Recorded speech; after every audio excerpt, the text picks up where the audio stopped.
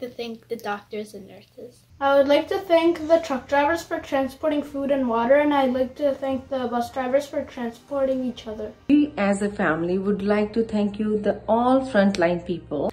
Police officers, nurses, ambulance, nurses, helicopters, firefighters.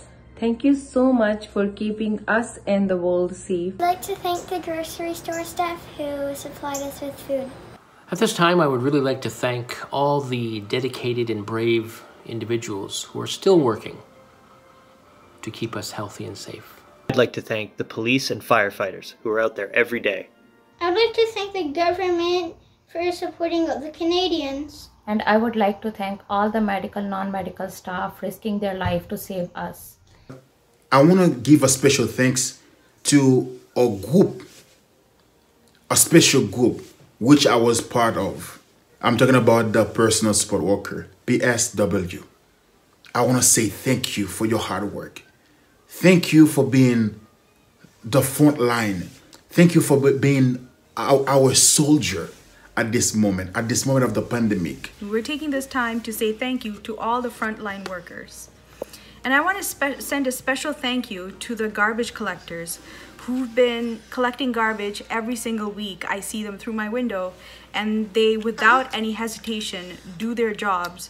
So the ones that are living at home can continue their normal lives as normal as possible during these unprecedented times. Just wanted to take a minute out to express my gratitude and thank you to all the teachers who are out there working.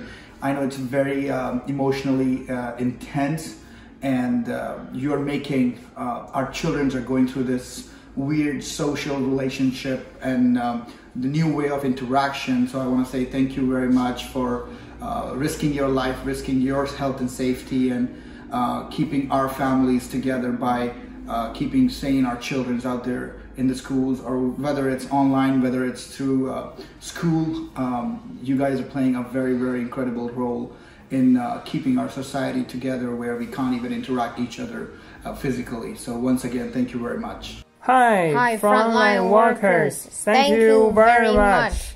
You, you are heroes. heroes.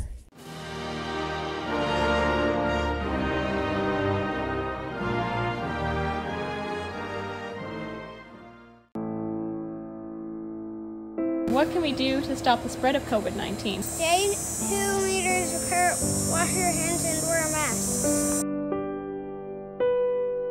We stay home to stop the spread of the virus.